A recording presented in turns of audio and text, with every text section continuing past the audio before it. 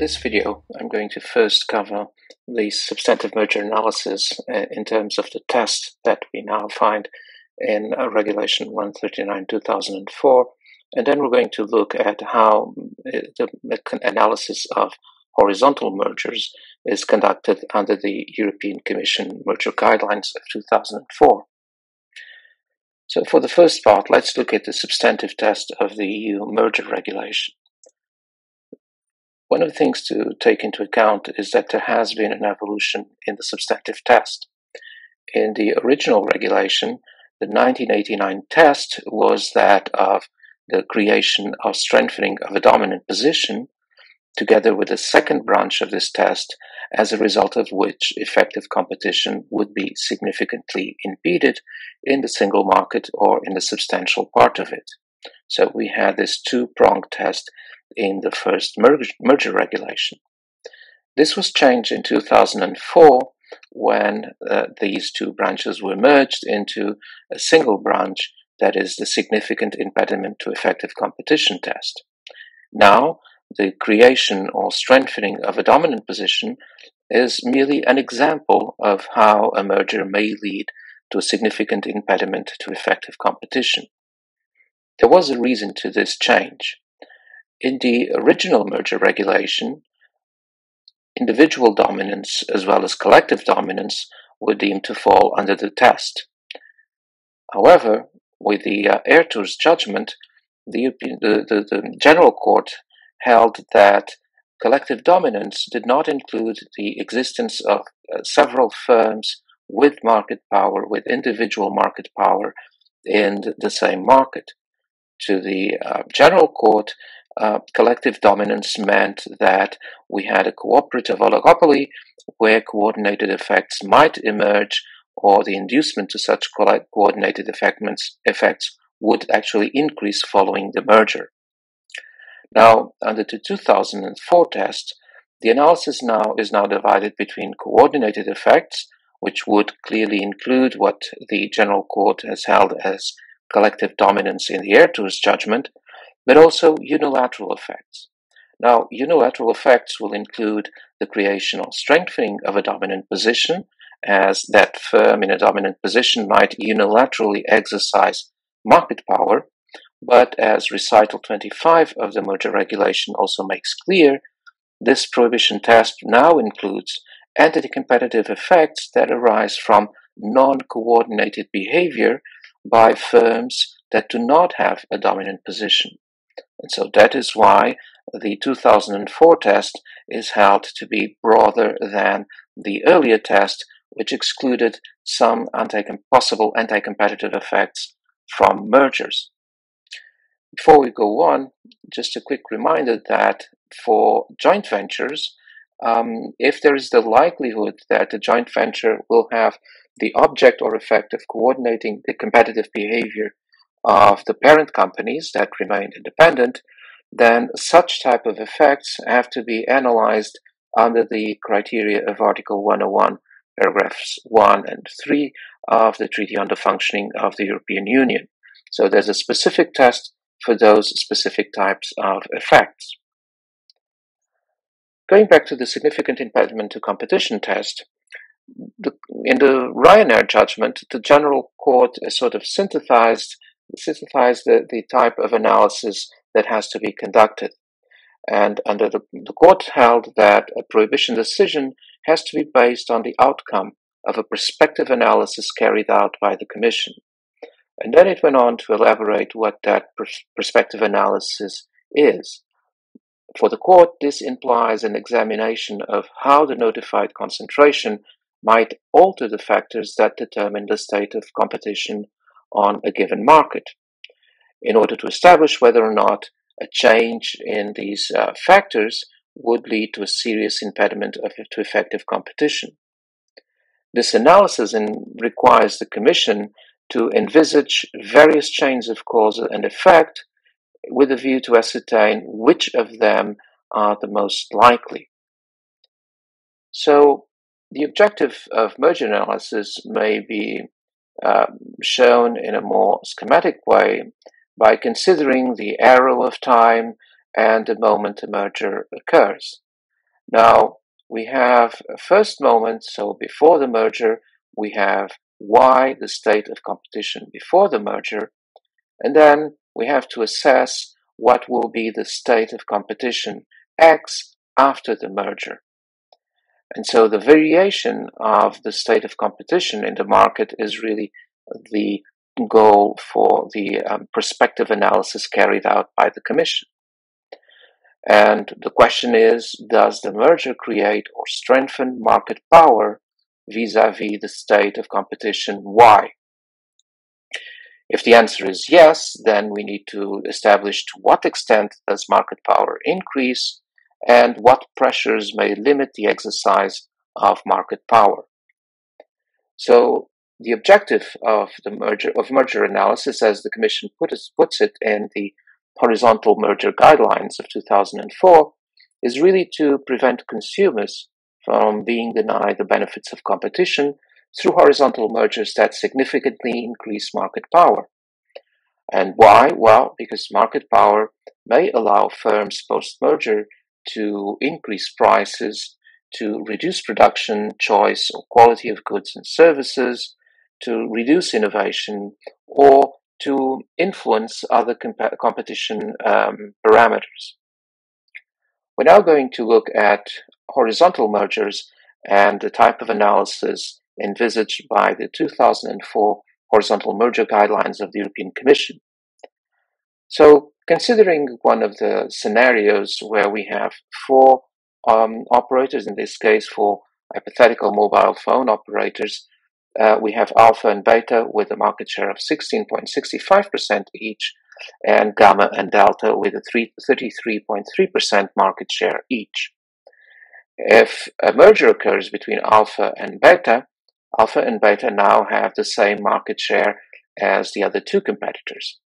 Note that in this case, the perfect symmetry is simply for um, uh, the example. It is not necessary to have exactly the same market share. The idea is simply to say that, to see that if they have approximately the same type of market shares, then very likely their incentives to reach a collusive outcome may be easier to achieve. And then, if other conditions that um, may lead to um, to, to collusion occur, then we might have a risk of coordinated effects in addition to the reduction of the number of competitors.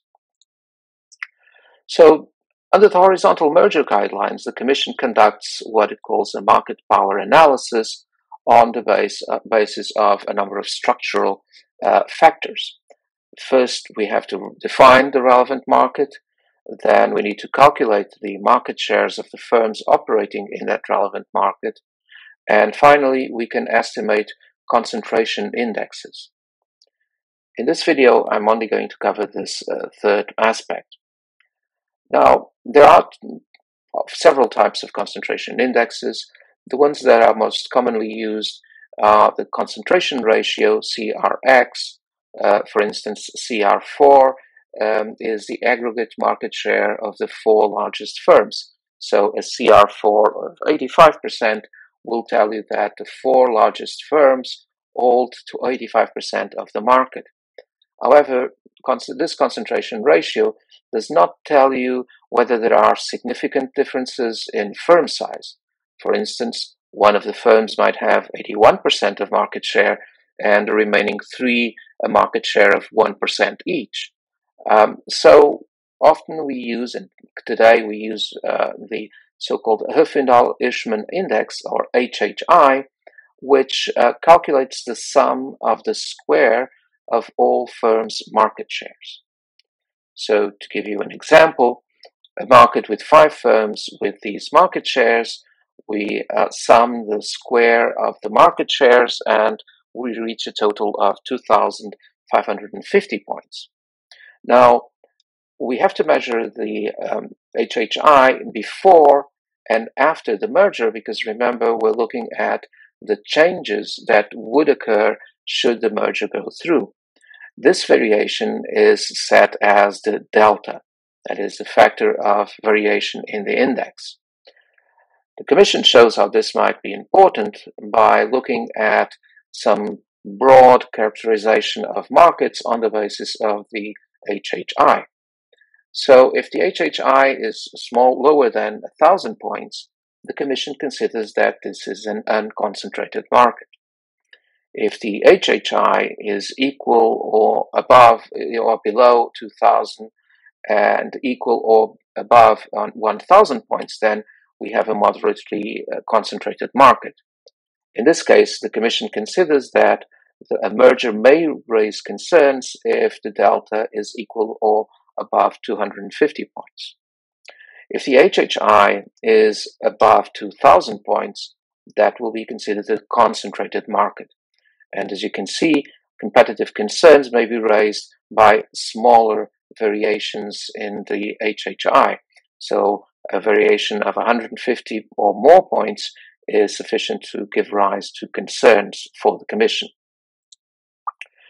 The Commission also uh, admits that it might exceptionally intervene in a concentration in an unconcentrated market, provided one of these factors, one or more of these factors, is involved, such as if the merger involves a potential competitor or a recent competitor with a small market share, uh, and thus it would be sort of nipped in the bud as a type of um, preventive acquisition or killer acquisition. If the merger involves innovative firms whose dynamic importance, for instance, a line of research in a significant cancer treatment area, but that has not yet reached the market. So the market share does not adequately convey um, the, the, the potential of competition by this firm.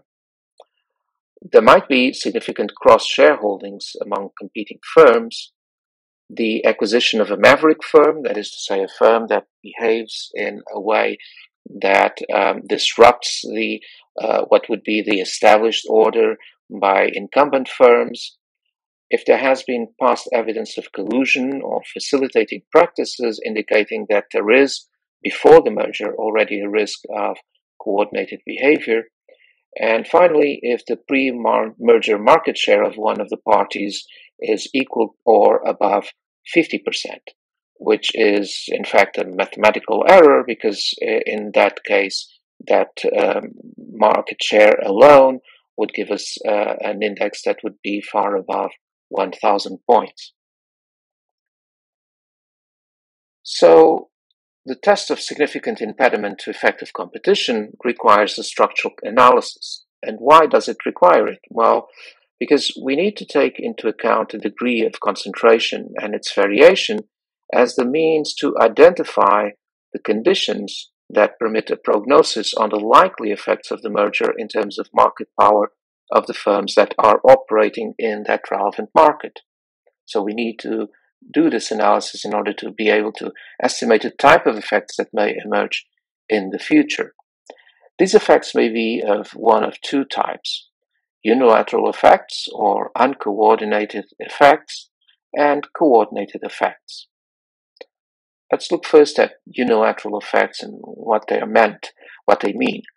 Um, now, unilateral effects are anti-competitive effects that result from the elimination of relevant competitive pressures on the new entities, as well as uh, other firms that constrained its market power before the merger.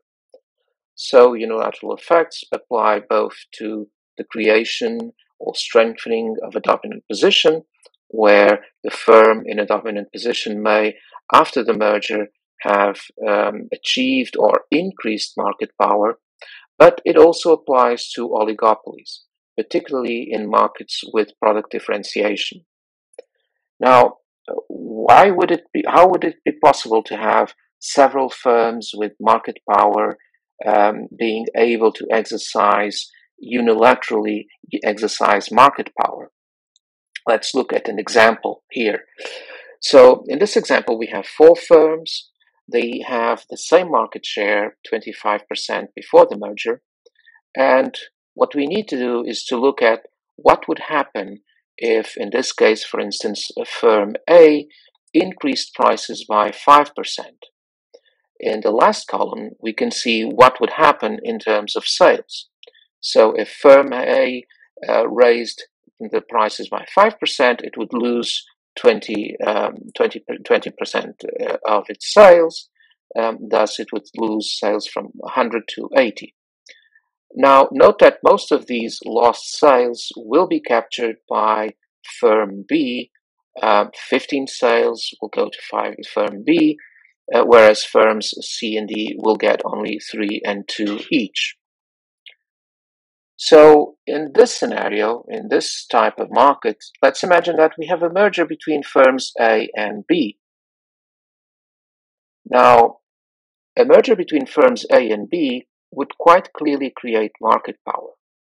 A price increase of 5% by A will lead to only a loss of 2.5% of joint sales by A and B.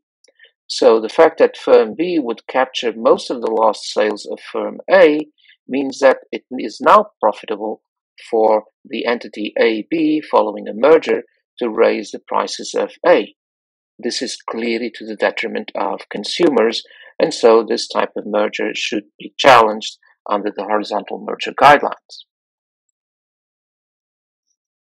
Now, if we are to consider another possible merger scenario, for instance, a merger between A and D, uh, this merger would not create market power, as a price increase of 5% in the prices of A would lead to a loss of 9% in joint A and D sales.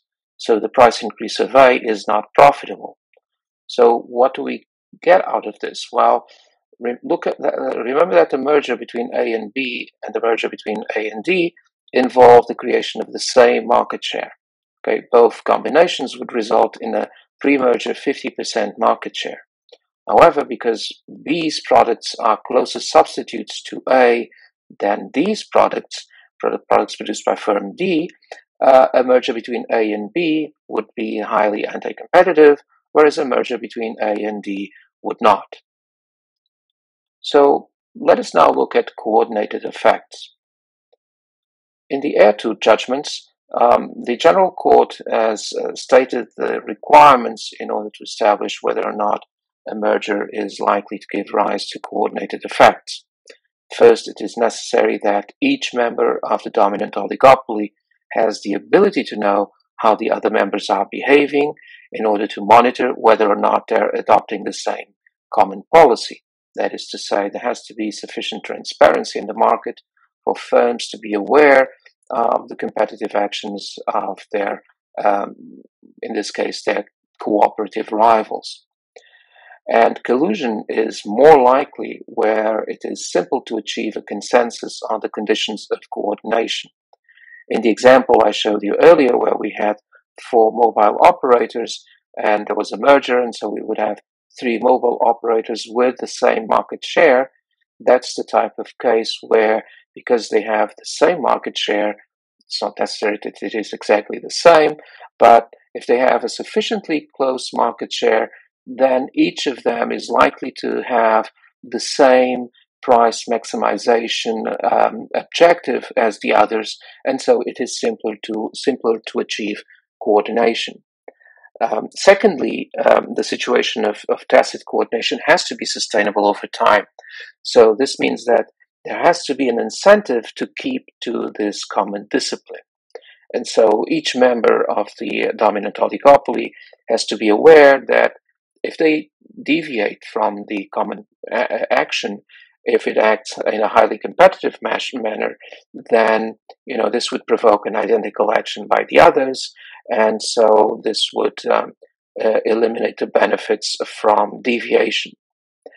Finally, the foreseeable reaction of current and future competitors, as well as of consumers, uh, must not jeopardize the results expected from the common policy in order for coordinated effects to um, occur or to occur successfully.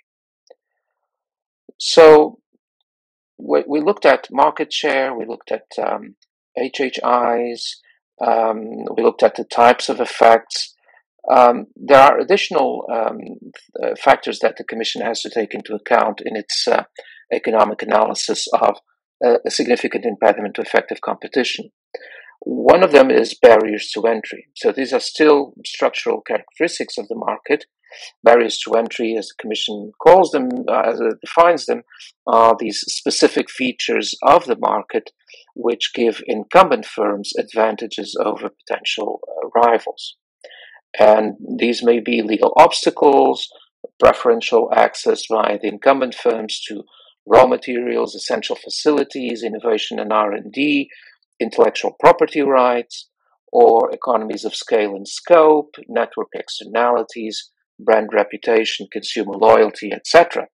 All of these make it harder for uh, new entrants to challenge the position of um, the current incumbents.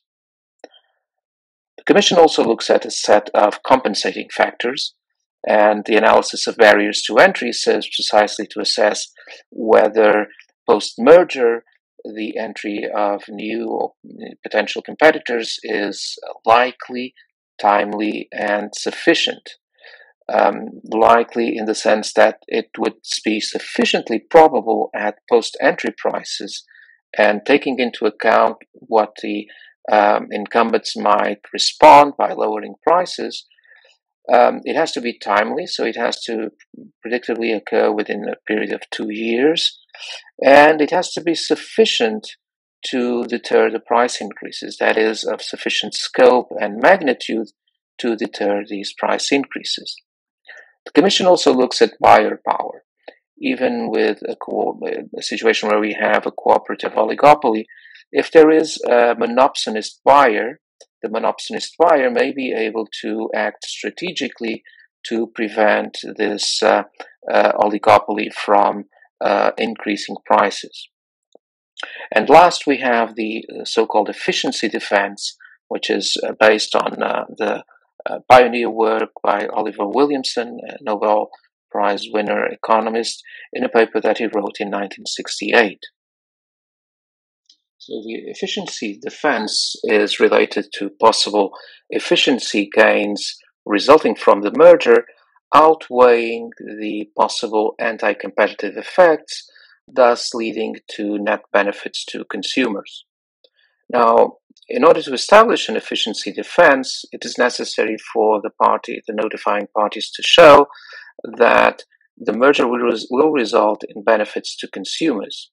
Now, in order to create benefits to consumers, these have to consist in a reduction of marginal or variable costs a reduction in fixed costs, for instance, would not shift the supply curve as a reduction of marginal cost would to a price where output was uh, larger than the output before the merger and more efficient because the output increases at a, uh, at a lower cost. These benefits would also have to be merger specific. Uh, they cannot, be, if they can be achieved through uh, other means ra- other, rather than a merger, then they would not be merger specific. So the uh, parties have to show that these benefits are adequate uh, in terms that result really from the merger and could not be achieved otherwise, and they have to be proportional, that there's no least restrictive alternative to achieving um, these benefits. Finally, there are often when we hear of a merger, the merging parties will announce that the transaction will create enormous cost savings, um, that it will create synergies between the firms, but often these claims are unsubstantiated. And so, in order to establish an efficiency defense before the Commission, um, these um, efficiency gains have to be verifiable both in terms of their probability as well as their magnitude. Uh, the burden of proof, obviously, is on the notifying parties. Because we're weighing costs and benefits to consumers, the Commission applies a sliding scale approach. So, the larger the magnitude of likely anti competitive effects, the stronger the, the evidence of efficiency gains necessary to outweigh them.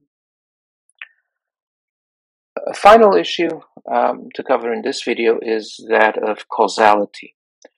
Now, we're comparing the state of competition Y before the merger with the state of competition X, what we expect to be the state of competition following the merger.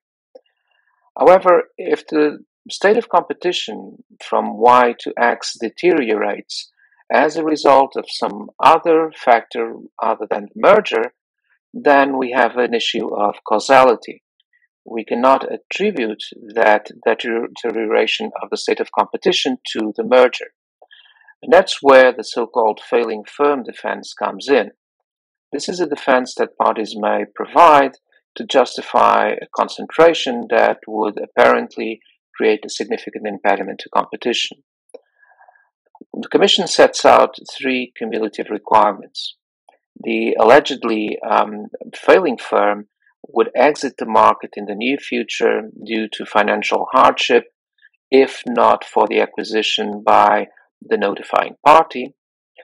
Uh, secondly, the parties have to demonstrate that there's no less anti competitive alternative acquisition by some other prospect, prospective buyer in the market. And finally, uh, in the absence of the merger, the failing firm's assets would inevitably leave the market. And so it's only under these very rigorous conditions that the Commission is willing to allow a merger under the so called failing firm defense. Okay, and this concludes um, this video. And in the next video, I'm going to talk about the uh, non horizontal merger guidelines, so uh, vertical and conglomerate mergers. So, hope you enjoyed the video, and I'll see you in class to discuss it. Bye.